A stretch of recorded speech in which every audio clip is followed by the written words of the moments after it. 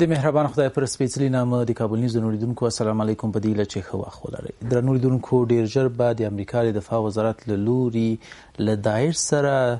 د مبارزې نوې بررسي شوې ستراتیژي د امریکا د ولسمشر ته وړاندې شي امریکا له داعش سره د جګړې لپاره په خپل نوې ستراتیژۍ کې د القاعده لمنځه وړل هم په پام کې نیولې دي افغان چارواکي په دې باور دي چې چیرته په دغه ستراتیژۍ کې له تروریزم سره د مبارزې په برخه کې په لازیاتو همکاریو تمرکز وشي د افغانستان لپاره سکوي پایلې ښې وي امریکا له دې وړاندې هم مختلفې ستراتیژۍ ګانې د جګړې د ختمولو او یا هم د جګړې د بریالي کېدو لپاره سکه جوړې کړې وي طرح کړې وي خو تر اوسه پورې په 15 او 14 کلونو کې عملی نتیجه مونږه ترې نه ده اخیستې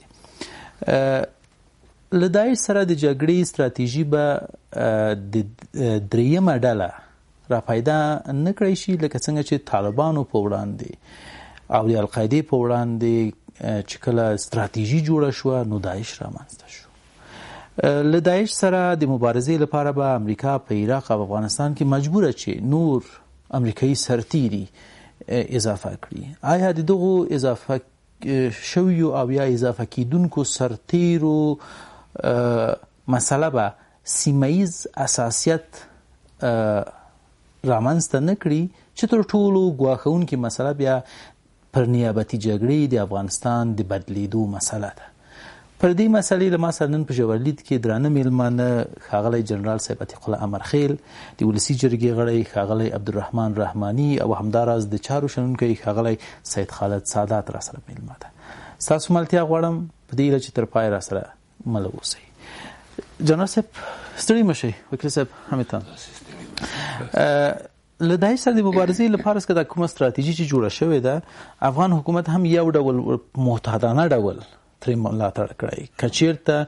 ډیره لا زیاته همکاري وشي او تمرکز پر همکاریو پر مرستو باندې وشي نو افغانستان ته به یې ګټه ښیي د دې ترڅنګ بیا بل نظر دا دی چې ستراتیژیانې خو ډېرې په شپاړسو کلونو کې جوړې شوې خو موږ یوازې تر شعار لاندې پورې عمل ونه لید عمل هم څه فکر کوی که چیرته دغه ډول جنګی ستراتیژی پر پلانونو باندی یوازې تر شعاره پورې موږ بسنه وکړو او عمل ونه کړو نتیجه به یې څه ډول وي بسم الله الرحمن الرحیم تاسو ته جناب وکیل صاحب ته سادات صاحب ته تخنیکی همکارانو ته او د تلویزیون درنو لیدونکو ته سلامونه او ښې هیلې وړاندې کوو د تر ستراتیژي طرحه خو تر اوسه پورې ګونګه ده او دا چې دوی طرحه کړې چې داعش له بینه وړي او که یې تقویه کوي دا یو سوال پاتې دی کومې ستراتیژۍ چې تر اوسه پورې امریکایانو طرحه کړې وې د طالبانو د له منځه وړو یا د تروریزم له بینه وړو په هکله باندې کومې نتیجې یې نه ده ورکړې نه تنها چې طالبان له بینه لاړ نه سو نه تنها چې افغانستان ته سوله رانغله امنیت رانغی جګړې زور واخیست جګړې تودې سوې او د افغانستان په ګوټ ګوټ کې نن د طالب او د داعش موجودیت شته هغه داعش چې درې کاله مخکې په فراه کې را پیدا سو اوازه یې سو بالاخره دومره حد ته ورسېده چې سرب ننګرهار ته ورسېد او څلورو ولسوالیو ته ورسېده او له هغه ځای نه اوس شمال ته هم فراه کې داعش شته روزګان کې داعش شته او د شمال خلک هم د داعش نه سر ټکوي نو په دې ته چې سړی وګوري دا ستراتیژي به څه رقم وي د دې د له منځه وړلو لپاره به دوی څه کوي خو زه شخصا په دې نظر باندې یم چې که دوی د خپل ځواکونه دلته زیاتوي یا د خپل قوتونه دلته نور هم زیاتوي خو ګټه به ونه کړي یو خو حساسیت سیمه ییز یوې خواته ده د افغانستان د خلکو حساسیت هم راپارېږي او دا له داعش او له طالب سره یو نوع کمک هم ده ځکه په جګړه کې تر هرې مرمۍ نه تبلیغات ډیر مهم دي تبلیغات انسانان د صحت ته رسوي چې اعصا له ځان تېرېدنې ته هم حاضري دغه تاسې ګورئ چې د خلک له ځانه تېرېږي دا ټول د تبلیغاتو تاثیر دی نو کله چې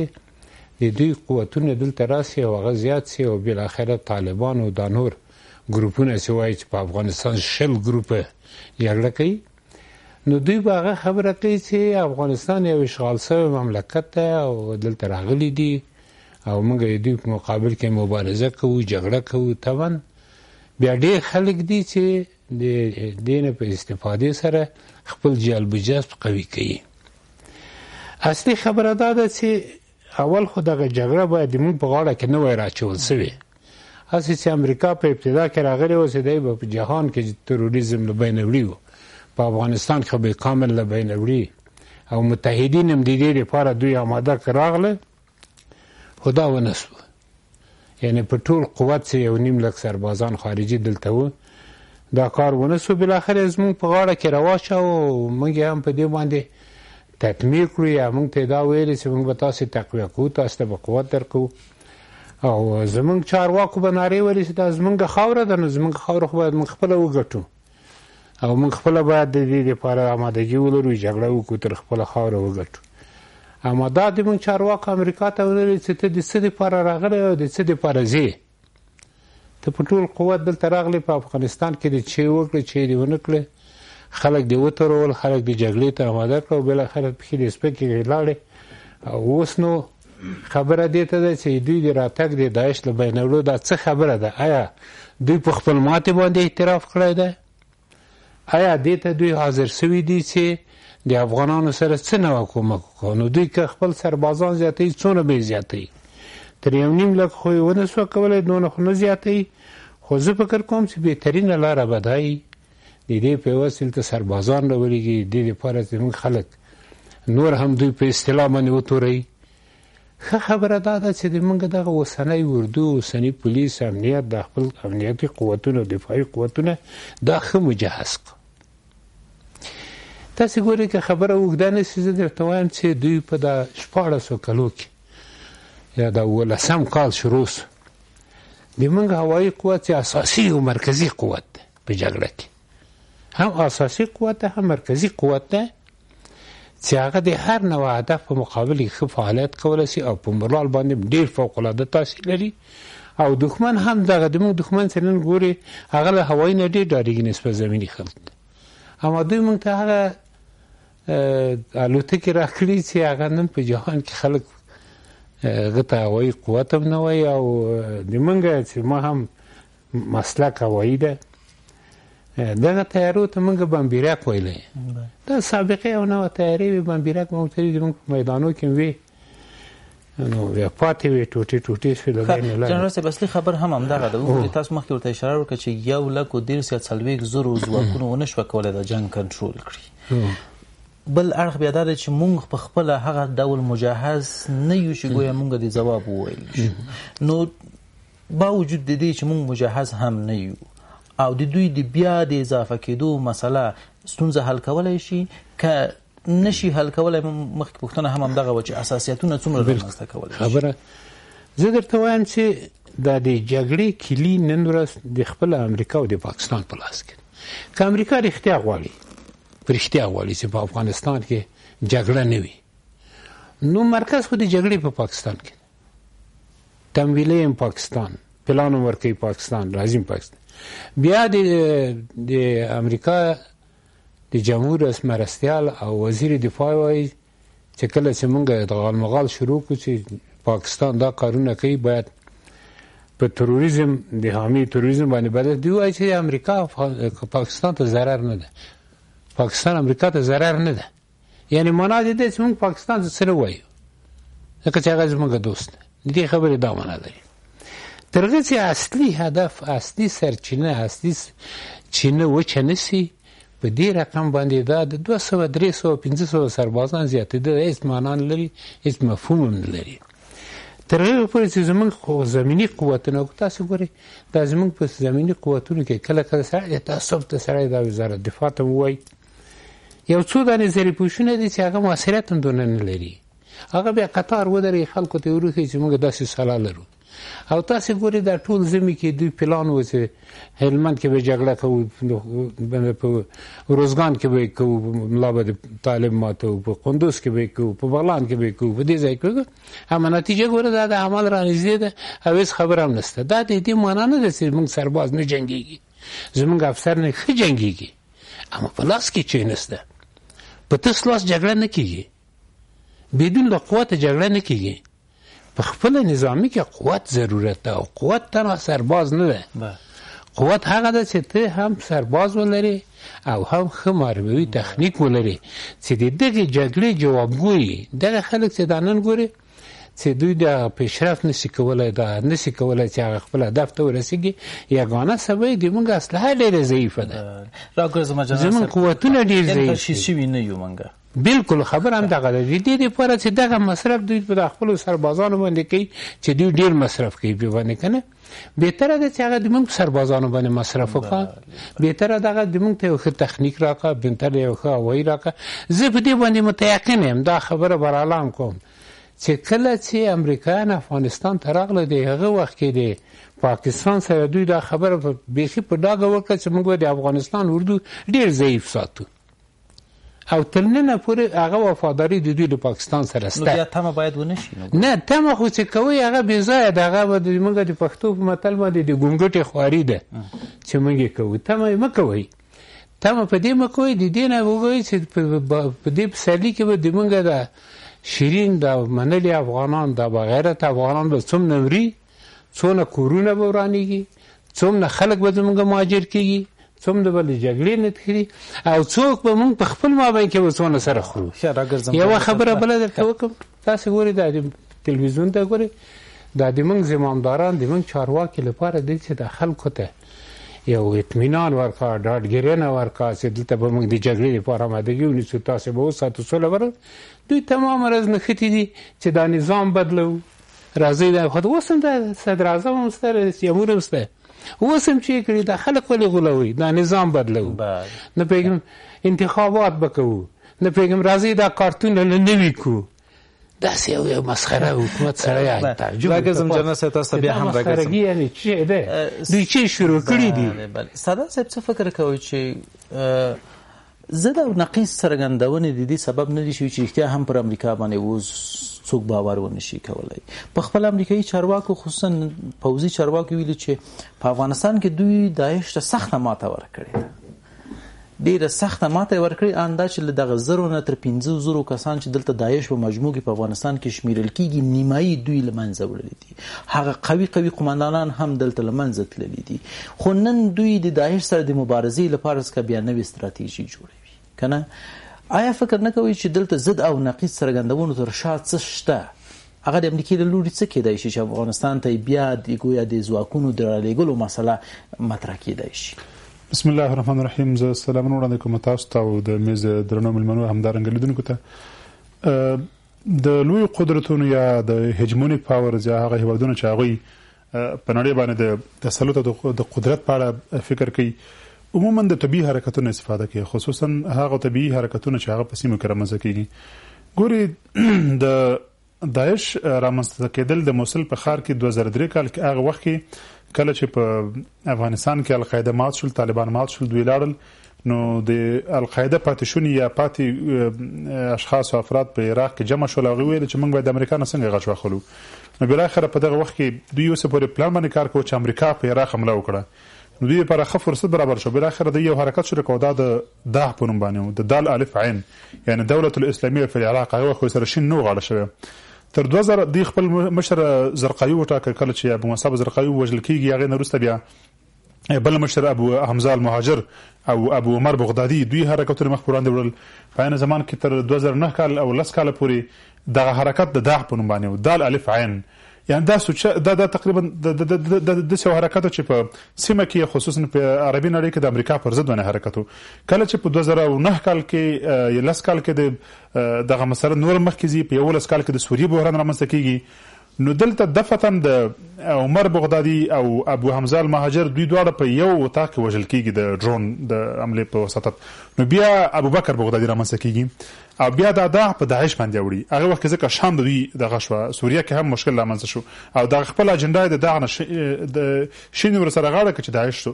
کله چې بیا ابوبکر بغدادي فکر رامنځته کېږي، په دې کې نو ډېر فکر دا دی، خصوصاً د عربې نړۍ د اذهانو او د عربي نړۍ د سیاستوالو، چې دغه ابوبکر بغدادي دا د امریکا د لوري یو روزل شوی سړی دی، نو دوی بیا خپل نوم د داعش څخه واړاو اسلامي، Islamic State، یا آی ایس یا اسلامک سټیټ، اسلامي دولت، په دې مانا چې په افغانستان کې جګړه مونږ د داعش پورې نه شو منحصر کولای، که چېرته مونږ د داعش نوم افغانستان کې استعمالو معقول نه دی، که چېرته مونږ د عربي نړۍ څخه وځو، د دغو دوو هېوادونو څخه اخوا وځو او د داعش په نوم باندې دغه يعنې دې حرکت نه استفاده وشوه، حرکت طبيعي حرکت و، ولې بالاخره لاړ د هغو کړيو د هغو علقاتو په په لاس کې کېوته کوم چې د جنګ او تمويلوونکي قدرتونه ول، نو بناً دغه داعش نوم يې واخيست په اسلامي دولت باندې بدل کړ، چې وکولای شي د خپلو اهدافو لاسته وړلو لپاره د دې نوم نه استفاده وکړي، يو مسئله. دويمه مسئله دا وه چې. تاسو وګورئ نن داعش لپاره موږ یو واحد تعریف نه لرو افغانستان کې داعش د روسي د ادرس نه داسې یو حرکت تعریفېږي چې د امریکا او د غربي نړۍ یو قوي تهدید د روسي د ملي امنیت لپاره دا د داعش تعریف دی په عربي نړۍ کې داعش جغرافیا ده هلته فقط د عربي نړۍ دغه د موصل ښار او تکريت او فلوجه او بالاخره بیا سوریا او اوس په سومالیا او نایجیریا هلته د د د سیاستوالو په فکر کې داعش او دغه اوسنی حرکت د اسلامي دوره دا یو جغرافیا ده په درېمه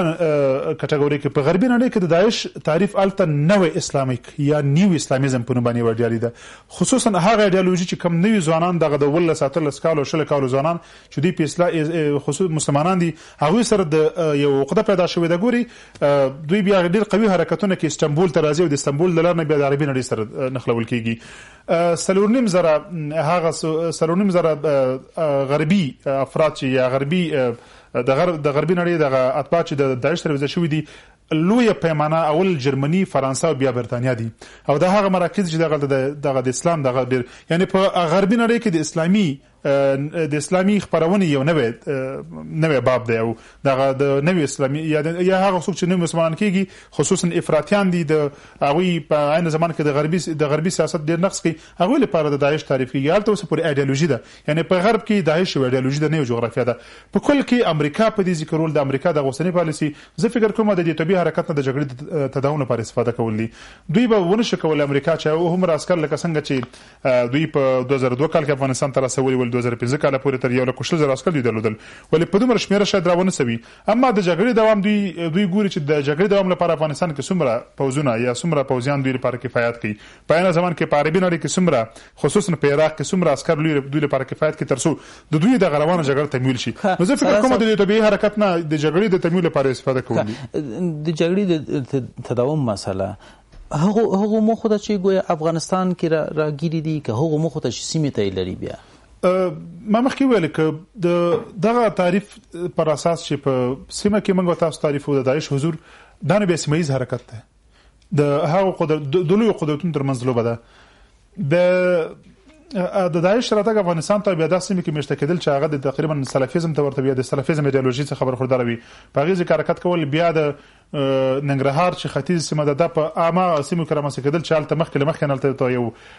پری سیټلمنټ شو یا مخکې د مخکې نه د بستر سازي مسله مطرح کیږي دوی د کونړ او د نورستان او حتی د پنجشیر او هغه د یو بیا دغه لار د بدخشان د لارې د فرغاني په نوم باندې سیمه ده چې هغه به د مرکزي اسیا سره ډیر په اسان نه ختل یعنی هلته د موسین ډیر کمزور دی او تقریبا هم داسې بدون وسایل څخه هلته حرکت کېدل ځکه چې هغه هغه ځکه منګه موسین نه لربل کې یو نهرونه دي یا مثلا حد اقل د اوبو سطح ټیټه ده نو دا دغه دغه ټوله د نقشې پر اساس کوم فکر وکړو د دې دهلیز نه د دغه داعش د بیا سیمایز حرکت دی او د سیمایز اهداف لپاره یو یو یو جګړه ته تمولول دي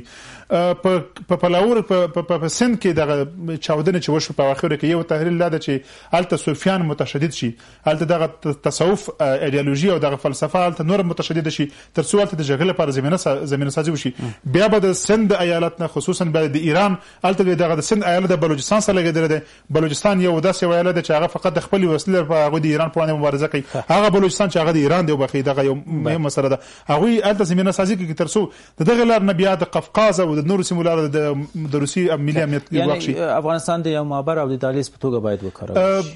د جګړې د د د شکل څخه داسې معلومیږي د جګړې د ارز څخه معلومیږي چې افغانستان نه د دهلیز په توګه استفاده کیږي کدل ته داعش قتل نه و یا د داعش پدیده نه نو دلته بس شنه استفاده کیدل دا سوال دی هم دغه مسله لازم تاسو ان شاء الله جناب وکیل صاحب اگر واقعا هم برای تداوم جنگ یک بهانه باشند دایش و سادا صاحب که اشاره کردن به خاطر معبر و دالیز باید افغانستان استفاده شوند و به شمال کشور و به کشورهای شمالی افغانستان باید جنگ بروه آیا فکر نمیکنید که اینجا رقابت های منطقوی شدیدی به وجود میان که به خیر افغانستان نباشه بسم الله الرحمن الرحیم بر شما جناب جنرال صاحب عزیز و سادات صاحب همکارای تکنیکی بیننده های محترم برنامه فکر میکنم که در این مورد بحث های خیلی مکرر در میزای مدور شده صاحب نظران سیاسیون اشخاصی صاحب دید نظراتشان رو میگفتن امروز یک هایک اون مسائل یعنی پسونداش نتیجه داده آمدن دایش در افغانستانی هم یک پروژه بسیار خطرناک هست تقوی طالب هم پروژه بود در 16 سال جنگ مداویم خانه و ایرانگر در افغانستان همش پروژه بود اما یکی که افغانستان دولتش مردمش نظامش همه به سینه افتیده بودن مثل کور از عصای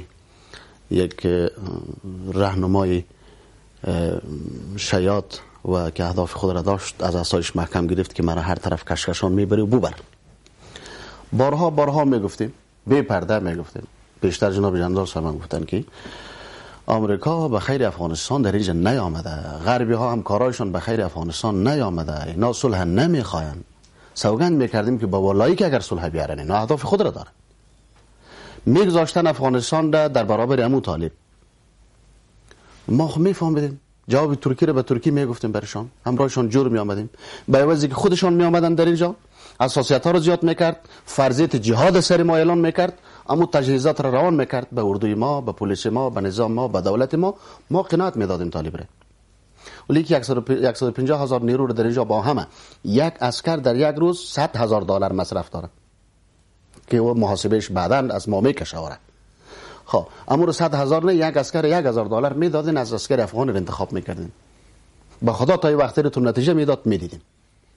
و اون وقت فرضیت جهاد زمانی که سر ما مشروع شد ما گفتیم که دست بشوین قدم اینا برای خیر نیست امون طور بود طالب مرده بود زمانی که بین 52 عملیاتش خلاص شد در افغانستان در جغرافیای افغانستان یک لانه طالب نبود چرا پس دوباره از از 2005 به بعد معاهدات صورت گرفت و چی شد و پلان های دیگری تجدید شد و دوباره شورای کویت ایجاد شد و بالاخره پاکستان برش راه ها رو نشان داد و طرحهایشان آلی هم زیاد تکرار نمیگیم اگر نیروی جدید بفرسته ایره بدانین که تداوم جنگ امضا میکنه به والایی که اگر دویم گپ باش تو او وقتی که تعهد جدید داشتی هنوز هم استراتژی واحد بود در برابر یک طالبی که متمه نظر جنگش جغرافی افغانستان بود بس با عنوان گروه ناراضی یا گروه جدای طلب یا گروه اصلاح طلب یا امارت اسلامی هر چی که بود ولی از, از, از, از خاک افغانستان بیرون اونها نه نظری داشتن نه تصمیمی داشتن و نه در پلانشان بود خب وقتی که از او کار گرفته تا این حد داره که از بالا اونا حرکت ندارن پس ضعیفش کردی توسط پاکستان ضعیف کردی ضعیف کردی ضعیف کردی های دیگری که امروز 22 شبکه در جنگ است و این جنگ را هم مطالع اجرا صاحب نظران قبل از قبل کردن که روس علنا داخل اقدام شد چین علنا باید داخل اقدام شود هند امیال در حال تجهیزی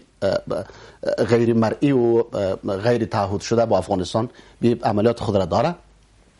پاکستان و امریکا سر از نو